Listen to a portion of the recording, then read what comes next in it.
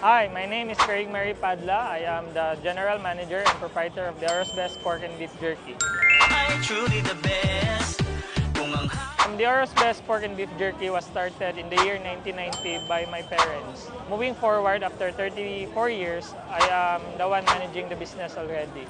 And I find the jerky business very uh, lucrative, especially na limited lang yung nagmamanufacture ng jerky dito sa Pilipinas. Kung napansin nyo po, most of our meat products are frozen. But you know, kapag frozen, hindi mo yan basta-basta ma-ship out nationwide. But because of jerky, we are able to ship out nationwide and at the same time, cater to greater markets.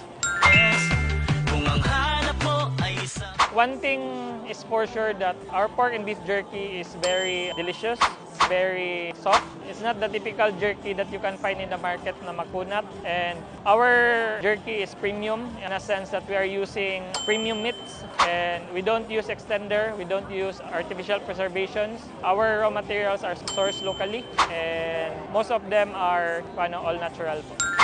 Pilipinas, now it's your time When you go to other places, let's say for example, when you visit to Cagayan de Oro, normally yung mga clients natin or tourists natin naghahanap ng pasalubong. That's why kung napansin niyo po, yung mga packaging namin sa jerky, meron talagang nakalagay na Pride of Cagayan de Oro City and Product of the Philippines. Bira mo yung makikita sa mga products eh. That is why it is very important na kumbaga kung gagawa kayo ng products, dalhin niyo po yung lugar niyo po.